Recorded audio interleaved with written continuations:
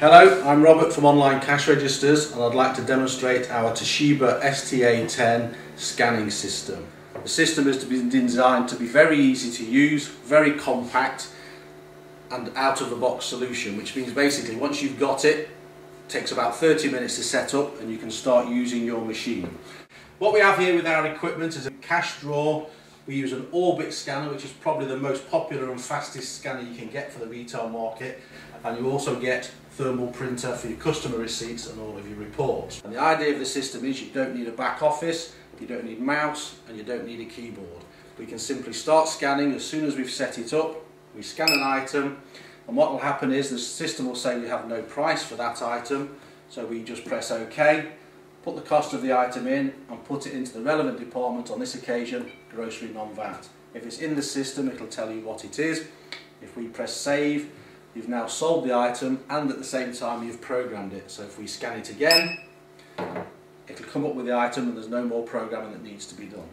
And what this system will also do for you is print your labels for the shelves. We've got a quick shelf edge label button here. If we press that, simply scan the items, press the print button, choose the receipt printer, what size label you want, and that will then issue shelf edge labels which can go on your shelf.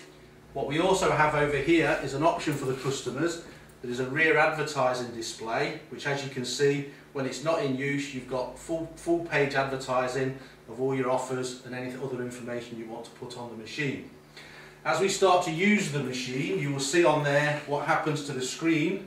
We scan something, the screen will automatically split into two where you've got your advertising on one side and the products that your customers purchasing on the other side. So it also acts as the customer display. As you can see with the alcohol products, you've got the check age coming up. The customer can also see that you're going to be asking them to verify their age with some form of ID. If the customer can't produce ID, we can say no to the sale here and it will give you a list of reasons as to why not you're going to sell the product. So we're going to choose no ID for the customer and press OK.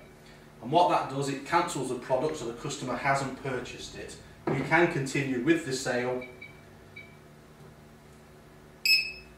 And we get to the end and finish off customer paying £10 and the change to give also is displayed on the rear screen.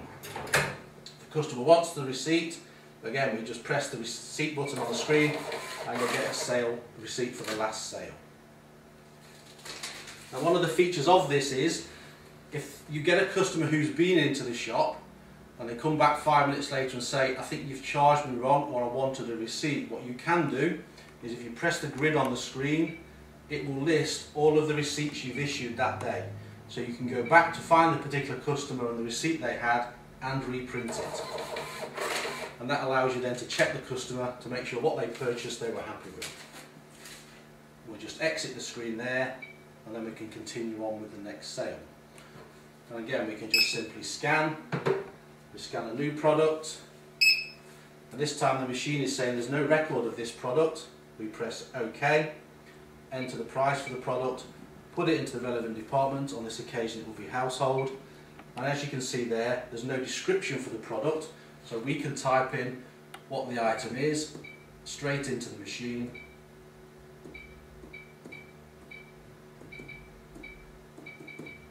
save. We've now saved the product, so next time you scan the product, it's ready and programmed into the machine. Again, we can subtotal on there. Now if that customer forgets something and they need to go back into the shop to, to find some other items, we can press hold, which holds that particular sale. You can then serve the next customer. Again, ring items in aren't in. If they've got any lottery, we've got lotto on this side, you can put it straight into the lotto button and subtotal and again finish the sale. Uh, as you can see now we've got a flashing hold here that identifies the fact you've got a sale on hold. If we simply press that the sale will return, you can continue on with that customer and again finish the sale. Set up multi-buys on it so if you do deals like you do on the alcohol we go into program mode, put in the password, go to the multi-buy section choose a multi-buy ID, link the product to the multi-buy, and then simply say how we're going to sell it. And here you can see we're selling four items and we're going to sell those for £7.50. You can also choose an option for price for eight items, which we can put on there at say £12.50. You've also got start and stop dates on there, which means you can put in if the offer's for a certain period of time, so you don't have to remember to go back and change the price. And we can also print a ticket for that.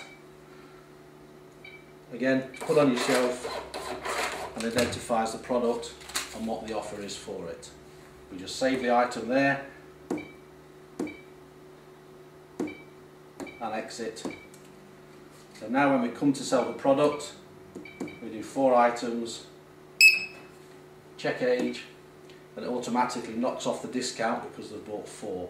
If we buy four more, you will then see you've got an extra discount because you've bought eight products. Again, come down to here, you've got the nearest pound tender key here, it's £12.50, customer gives you £13 and that will complete the sale.